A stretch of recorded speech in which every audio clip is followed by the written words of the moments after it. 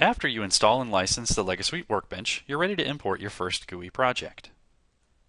Keep in mind, you need a fast, powerful computer with plenty of disk space.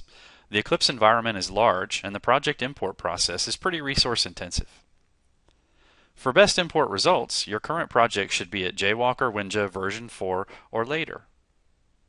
And finally, just be aware that the import process is only done once, but it can take significant time, particularly if you have thousands of screens and panels in a single project. When you start the workbench, you need to specify a workspace. This is where all of your project files will reside on your local PC or network drive. Importing will put all of your project files here.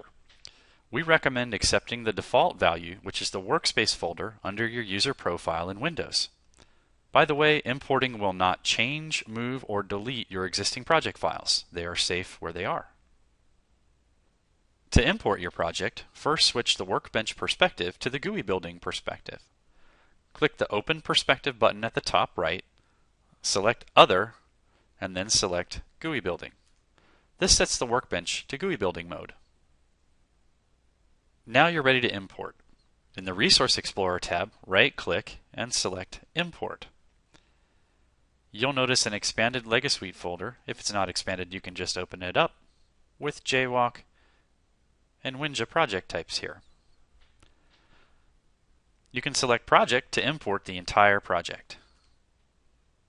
Fill out the project location information. You can use the Browse button to locate the project definition file.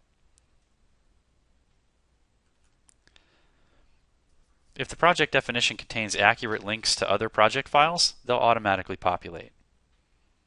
If there's a problem with a file, you'll see an error message at the top. Now click Next. You can leave the project name as is, so just click Next again. Now enter the host computer that you want to connect to. This would be the mainframe, AS400, or OpenVMS system. Then click Finish. The project will import.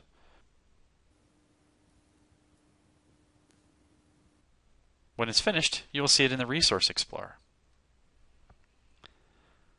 You can import all of your projects into your workspace the same way, and you will see them all here in the Resource Explorer.